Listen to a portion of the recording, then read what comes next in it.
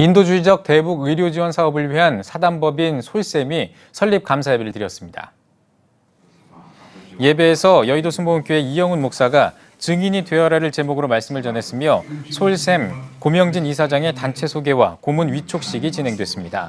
이어 더불어민주당 김진표, 정세균 의원을 비롯해 바른미래당 이혜훈 의원과 국민문화재단 박종화 이사장, 사단법인 남북나눔 지영은 이사장의 축사와 격려사가 이어졌으며 미국 대북 지원단체인 크로스미션의 이재민 장로가 선교 보고했습니다. 솔샘은 화해와 협력, 섬김과 나눔의 정신으로 인도주의적 대북 의료 지원, 교류 협력, 긴급 구호 사업을 위해 설립한 대북 지원 단체입니다.